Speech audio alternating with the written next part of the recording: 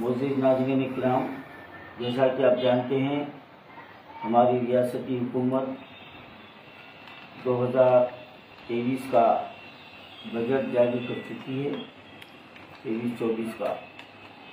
और हजब सबक की तरह बजट में बहुत सारे चीज़ों को शामिल किया गया है वादे किए गए हैं।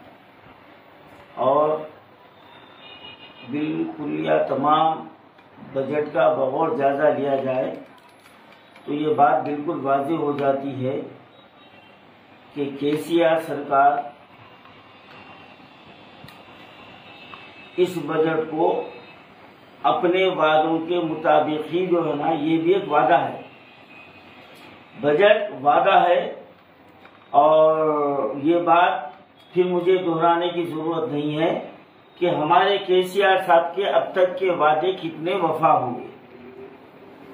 अब उसकी, उनके वादों की तफसील बड़ी तवील है, लेकिन मैं मुख्तसरन ये कहना चाहता हूँ कि सबसे पहले हमारे केसीआर साहब ने 12 फ़ीसद तहफात का वादा किया, फिर वक्फ बोर्ड को जुडिशनल पावर का वादा किया गया, और उसके बाद उर्दू को सरकारी जबान का दर्जा देने का वादा किया गया, जबकि सरकारी, दूसरी सरकारी जबान है, लेकिन उसको जायज़ मुकाम देने का वादा किया गया।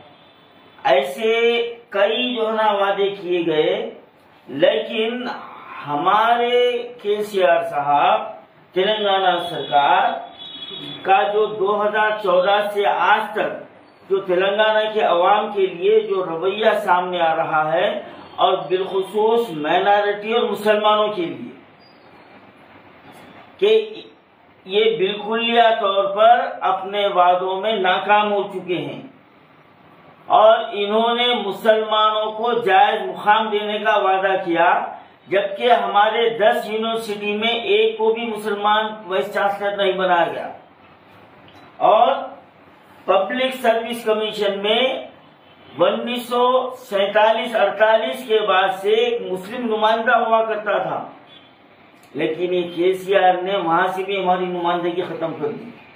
और सितम जरीफी ये है कि आज तीन साल से अखिलती कमीशन को खत्म कर दिया गया। और माइनॉरिटी फाइनेंस कारपोरेशन के ज़रिए मुसलमानों को मुसलसल धोखा देते जा रहे हैं। क्या बता दें कि हम खैर खा है, हम ये बजट जारी करें, लानत है तुम्हारे झूठ पे, अब हम खामिश बैठने वाले नहीं हैं। मैं तमाम दरखास्त दहिंदों से ये अपील करता हूँ कि 12 फरवरी को असम्बली इजलास खत्म हो रहा है। हम 13 फरवरी पीर के दिन सुबह 11 बजे जितने लोग दरखास्तें माइनॉरिटी फाइनेंस कारपोरेशन में दाखिल किए हैं। वो तमाम जो है ना कारपोरेशन के दफ्तर में जमा होना है। हमको घेराव करना है। और फिर मैं बताता हूँ कि हमको धोखा दिया गया है। एक पैसा बजट जारी नहीं हुआ और चेयरमैन माइनॉरिटी कारपोरेशन इम्तियाज़ साहब झूठ कह रहे हैं ये। ये झूठ कह रहे हैं। अब हमको बर्दाश्त करने वाले नहीं है। तेरह फरवरी को याद रखिए पीरगिरी सुबह ग्यारह बजे फाइनेंस कारपोरेशन के दफ्तर में आना है और हमको घेरा हज हाउस हज हाउस नामपल्ली।